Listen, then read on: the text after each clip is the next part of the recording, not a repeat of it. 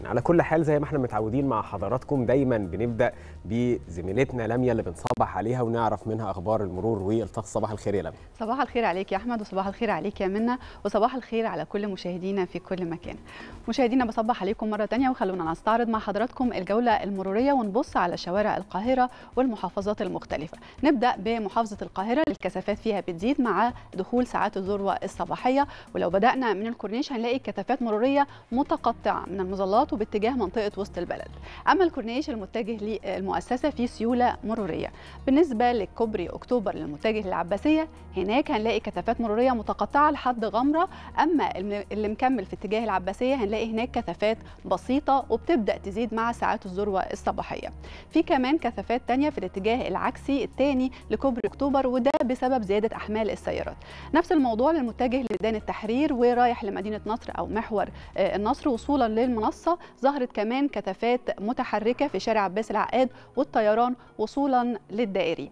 إنما لو تابعنا شارع صلاح سالم هنلاقي هناك كثافات مرورية بالتزامن مع دخول الموظفين وهنفضل ماشيين لحد نفق الملك الصالح اللي بيشهد كثافات مرورية نسبية في الوقت الحالي. هنفضل مكملين لحد كوبري الروضة وهناك برضو بعض الكثافات المرورية. أما بالنسبة لنفق الأزهر في انتظام للحركة وسط سيوله مرورية في الاتجاهين. بتظهر كثافات مرورية أعلى الدائري بالتحديد في منطقة السلام وداخل النفق للقادم من الأقاليم ومتجه للقاهرة عبر الطريق الزراعي. ونفس الموضوع للمتجه من المنيب وفي طريقه للأوتوستراد والتجمع وكمان في الاتجاه العكسي للقادم من المعادي ومتجه لمناطق الجيزة. نفس الموضوع في مناطق التجمع الخامس وفي طريقه للبساتين وكمان زهراء المعادي. هنروح لمحافظة الجيزة ونبدأ بشارع الهرم اللي بيشهد كثافات مرورية وده طبعا بسبب غلق الشارع في الاتجاهين. كمان في كثافات تانية في شارع السودان ومكملة لحد جامعة القاهرة وميدان النهضة وصولا لمناطق بولاق ومبابة. أما محور صفت في كثافات مرورية بتزيد في الاتجاه لجامعة القاهرة. اللي جاي من الدائري المنيب ومتجه لميدان لبنان أو المهندسين يفضل أنه يسلك محور الفريق كمال عامر وده بسبب السيولة المرورية اللي خلقها المحور. لو رحنا لشارع فيصل بيشهد كثافات مرورية في الوقت الحالي بدءا من محطة المريوطية ولحد الطلبية. أما محور 26 يوليو في كثافة عفوا في سيولة مرورية للقادم من أكتوبر وده بعد افتتاح التوسعات بشكل نهائي. أما الاتجاه الثاني المتجه لأكتوبر في كمان سيولة مرورية.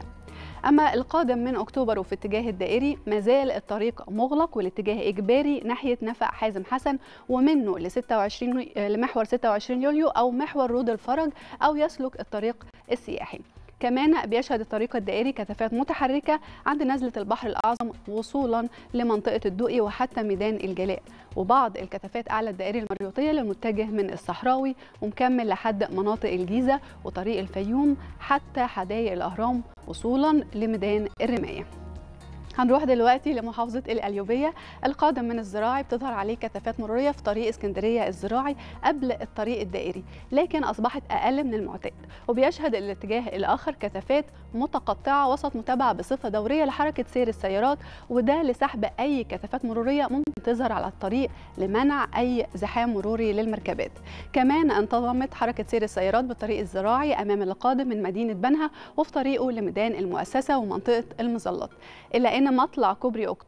عفوا مطلع كوبري أها بيشهد بعض الكثافات المرورية المتحركة بسبب أعمال الصيانة اللي بيشهدها الكوبري في الوقت الحالي. كمان انتظمت حركة سير السيارات بطول الكورنيش أو كورنيش النيل من منطقة المظلات لحد ميدان عبد المنعم رياض. وده وسط تواجد رجال المرور لمتابعة الحركة المرورية. أما القادم من طريق شبرا بنها ومتجه لمدينة نصر ومحو... ومصر الجديدة يسلك محور العصار وهيختصر عليه طريق طويل جدا.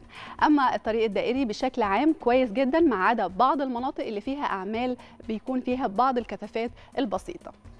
هنكمل جولتنا المرورية ونروح لحد بورسعيد. هنلاقي هناك سيولة مرورية في معظم الشوارع ما عدا بعض الكثافات النتيجة المعتادة في الذروة الصباحية اللي بنشهدها كل يوم زي شارع جمال عبد الناصر اللي بيشهد كثافات نسبية بسيطة بتبدأ طبعا تقل لحد ما نوصل لحد شارع 23 يوليو. هنروح لطريق طرح البحر اللي كمان هو كمان بيشهد سيولة مرورية كبيرة في الوقت الحالي. ومن طرح البحر هنروح لشارع الجمهورية اللي فيه كثافات مرورية ومكملة معانا لحد آخر الشارع. كده جولتنا المرورية خلصت في القاهرة وباقي المحافظات.